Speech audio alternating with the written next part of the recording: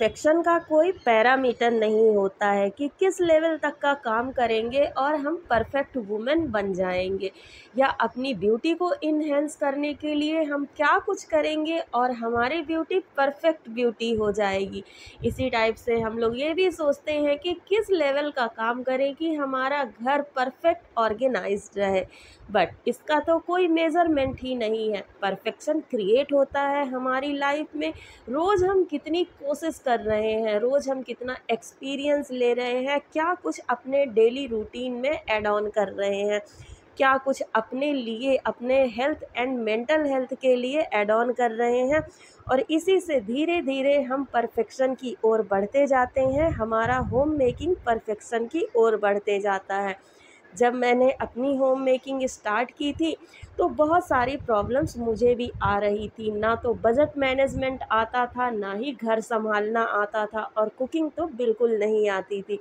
धीरे धीरे अपने एक्सपीरियंस से सब कुछ आज मैंने इतना सीख लिया है कि हाँ यूट्यूब पे वीडियो बना के उन लोगों के साथ शेयर कर रही हूँ जिनको थोड़ी भी प्रॉब्लम आ रही है।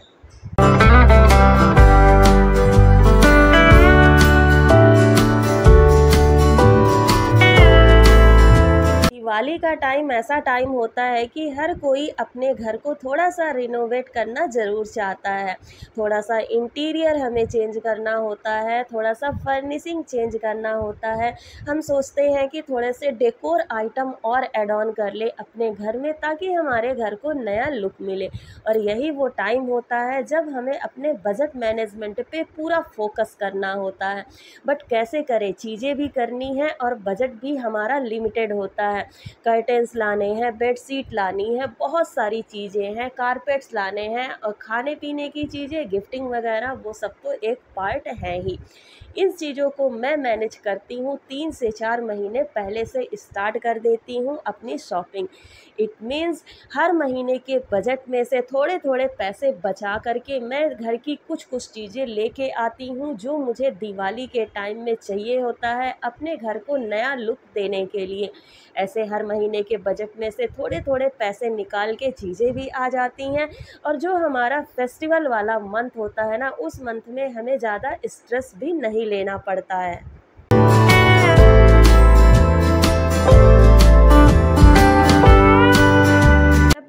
मार्केट से कुछ चीज़ें लेने जाते हैं। नो डाउट कि हम लोग वहाँ पे उन चीज़ों को बहुत अच्छे से चेक करते हैं।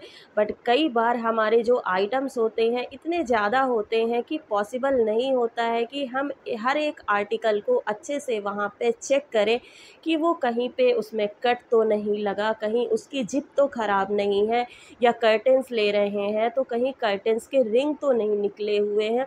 पॉसिबल ही नहीं होता है, ख़ासकर फेस्टिवल के टाइम में जब इतनी ज़्यादा रश हो शॉप्स पे।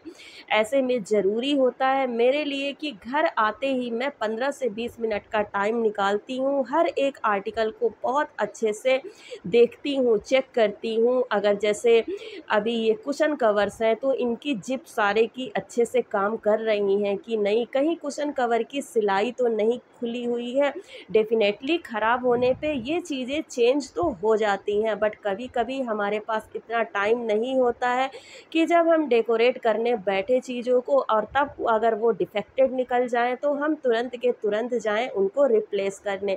इससे बेस्ट ऑप्शन ये है कि हम तुरंत ही सेम डे या नेक्स्ट डे उन चीज़ों को अच्छे से चेक कर लें, ताकि जो भी प्रॉब्लम हो तुरंत के तुरंत सॉर्ट आउट हो जाए। जब हमें घर का डेकोरेशन करना हो, तब हम फ्री माइंड से खुशी खुशी उन चीज़ों को अपने घर पे अप्लाई करें। कई बार जो हमारे बिल्स वगैरह सामान के साथ मिलते हैं, वो भी मिस आउट हो जाते हैं तो भी चीज़ों को चेंज करने में बहुत ज़्यादा प्रॉब्लम होती है। तो ये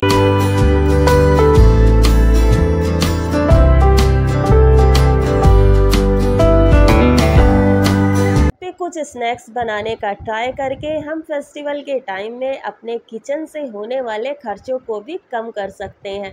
मार्केट से अगर हम यही सब स्नैक्स लाते हैं तो वो काफ़ी महँगे मिलते हैं। तो एक तो हमारा पैसा यहाँ पे बच जाएगा थोड़ा सा और साथ ही जब मार्केट के चीज़ों को खा के हम बीमार पड़ते हैं तो मेडिकल में भी तो हमारा पैसा जाता ही है। तो थोड़ी सी मेहनत करते हैं और कुछ आसान चीज़ों को घर पर ही बनाते हैं। मखानों की दो रेसिपी शेयर कर रही हूँ, जिसको आप स्नैक्स के फॉर्म में यूज़ कर सकते हैं अपने गेस्ट के लिए। सबसे पहले एक चम्मच घी लिया है मैंने और इसमें थोड़े से मखानों को मैं रोस्ट कर लूँगी। रोस्ट इतना करना है कि जब हम इनको तोड़े तो क्रिस्पी सा साउंड आए और पूरी तरह से पाँच से दस मिनट में ये मखाने लो फ्लेम पे रोस्ट हो जाते हैं। देखिए, रिज़ल्ट है आपके सामने, कितने अच्छे से मखाने टूट रहे हैं। अब हम इनको निकाल लेंगे, ये पूरी तरह से रोस्ट हो गए हैं। अब हम लेंगे कढ़ाई में फिर से एक से डेढ़ चम्मच देसी घी और इसमें डालेंगे गुड़ का पाउडर। अगर आपके पास गुड़ का पाउडर नहीं है तो आप नॉर्मल गुड़ भी यूज़ कर सकते हैं। उसको थोड़ा सा कूट लीजिए, मैश कर लीजिए। तीन से चार मिनट भूनते ही। ये देखिए इस टाइप का हो जाएगा। अब हम इसमें डालेंगे दो से तीन चम्मच पानी और इसको पाँच मिनट के लिए हम थोड़ा सा पकाएँगे। जब इसका टेक्सचर ऐसा हो जाए, ये गाढ़ा होने लगे थोड़ा सा मोटा सा टेक्सचर इसका हो जाए, तब हम इसमें डालेंगे कुटी हुई काली मिर्च, जो कि है लगभग एक चम्मच के करीब। थोड़ा सा काला नमक, जो कि टेस्ट को बैलेंस करेगा, स्वीटनेस को बैलेंस करेगा और थोड़े से वाइट वाले तिल। सबको मिला करके दो मिनट हम इसे और पकाएँगे और फिर इसमें ऐड कर देंगे अपने रोस्टेड मखाने। मखानों को अच्छी तरह से चलाना है, गैस का फ्लेम बंद नहीं करना है और इतना चलाना है कि ये पूरी तरह से कोटेड हो जाए गुड़ की चाशनी से। देखिए बहुत अच्छी खुशबू भी आ रही है और हमारे रोस्टेड गुड़ वाले मखाने बनके रेडी हो गए हैं। ठंडे होने पर इसका एक एक दाना अलग हो जाएगा। अपने गेस्ट को सर्व करिए। बहुत ही ज़्यादा टेस्टी हेल्दी ब्रेकफास्ट है।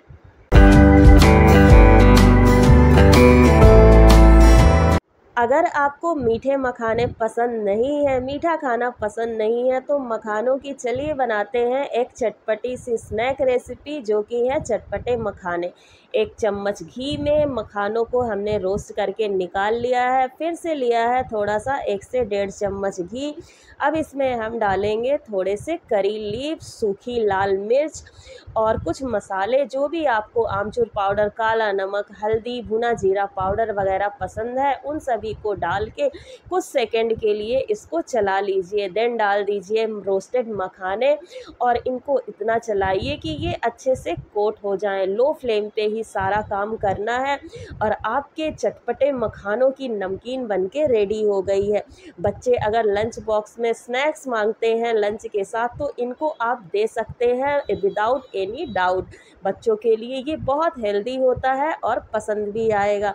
अब मखाने तो होते ही हैं सुपर हेल्दी फ़ूड तो क्यों ना इस फेस्टिवल पे मखानों की कुछ रेसिपी बना के रख ली जाए, कुछ स्नैक्स बना के रख लिए जाए, जो हमें भी बहुत इजी हो बनाने में और हमारे गेस्ट को भी बहुत पसंद आए।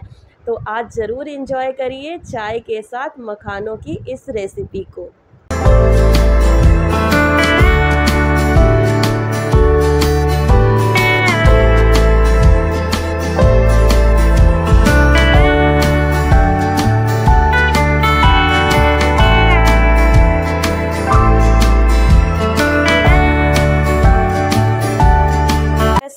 का टाइम घर के ढेर सारे काम, बच्चों के काम, घर की सफ़ाई करना, इस सभी में हमारा स्किन और हमारे हेयर्स बहुत ज़्यादा डैमेज होने लगते हैं। खासकर दिवाली के टाइम जब हमें घर की साफ़ सफ़ाई करनी होती है। बालों को धूल से बचाना मुश्किल हो जाता है।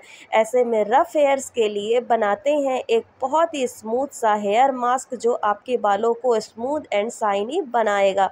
तो यहाँ पे एक मैंने राइब बनाना लिया है। बनाना के पल्प को आप ऐसे भी यूज़ कर सकते हैं, बट डायरेक्ट यूज़ करने में ना ये बालों में से निकलना मुश्किल हो जाता है जब हम इसको वॉश करते हैं। एक आप आप छन्नी ले लीजिए। छन्नी के हेल्प से देखिए, इसको दबा दबा के इसका क्रीमी टेक्सचर मैं निकाल रही हूँ। स्पून के हेल्प से भी आप ये काम कर सकते हैं, हाथों से भी दबा के इसको निकाल सकते हैं।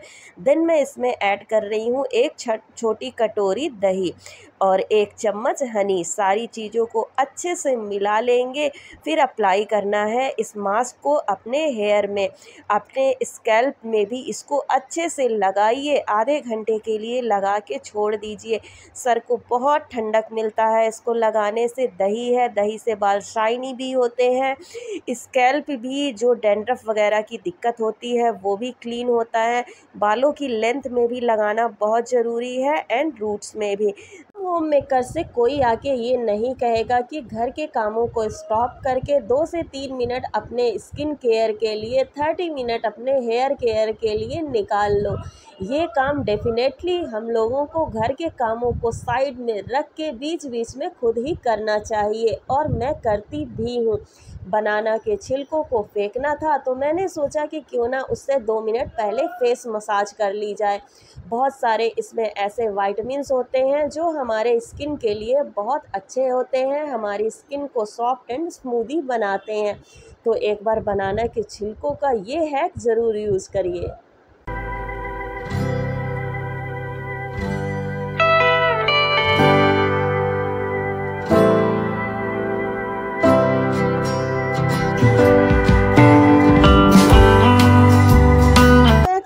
बच्चों के स्कूल बैग हो गए, बच्चों के पैंट्स हो गए या बहुत सारी ऐसी चीज़ें जिनमें जिप सिस्टम होता है, चेन लगी होती है, उनके जिप कभी ना कभी निकल ही जाते हैं। और फिर ये चीज़ें हमें बहुत ही परेशान करती हैं। अब जिप को संभाल के रखना भी मुश्किल होता है कि कैसे हम लगवाएँ, या तो हम इंतज़ार करते हैं, जो चेन बनाने आते हैं, गली में घूमते हैं उनका, और कई बार वो नहीं भी आते हैं। उन चक्कर में हमारी ये सब चीज़ें रखी रह जाती हैं। छोटा सा हैक है, अगर आप ट्राई करेंगे तो आप जिप को खुद ही बना सकते हैं। बस जिप के दोनों एंड्स में जो तार सा लगा होता है थोड़ा थोड़ा उसको खींच लीजिए। एक साइड से अपने जिप लॉक को पूरी तरह से इंसर्ट कर दीजिए, दूसरे साइड से तार को खींच के उसके अंदर से निकाल लीजिए। बहुत अच्छे से दो मिनट से भी कम टाइम में ये जिप आपका लग के रेडी हो जाएगा। दोबारा ना निकल जाए, इसके लिए इसके एंड्स को सिल देना बहुत ज़्यादा ज़रूरी होता है ताकि ये लॉक हो जाए। जब ऐसी छोटी मोटी चीज़ें हम लोग घर पे खुद ही कर सकते हैं तो क्यों किसी का इंतज़ार करना? अपने सारे काम जो पॉसिबल हैं, उनको खुद ही कर लेना मेरे लिए तो बेस्ट ऑप्शन होता है।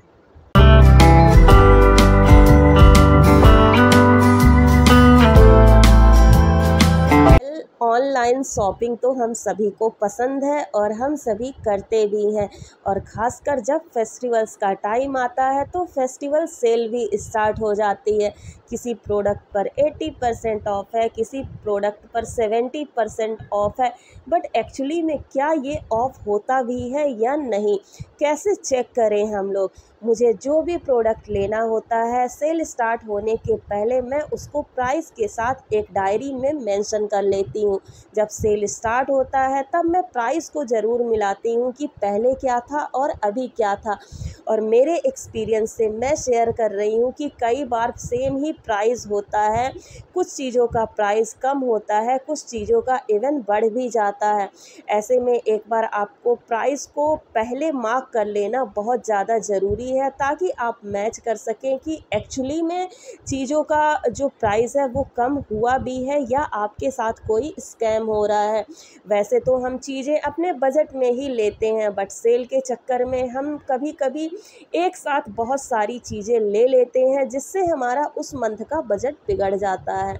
So friends that's all for the day I hope आज के टिप्स एंड ट्रिक्स इस फेस्टिवल में आपके ज़रूर काम आएँगे। मिलते हैं नेक्स्ट वीडियो में। Till then take care and bye lots of love from lifestyle with Ritu Mishra Bye.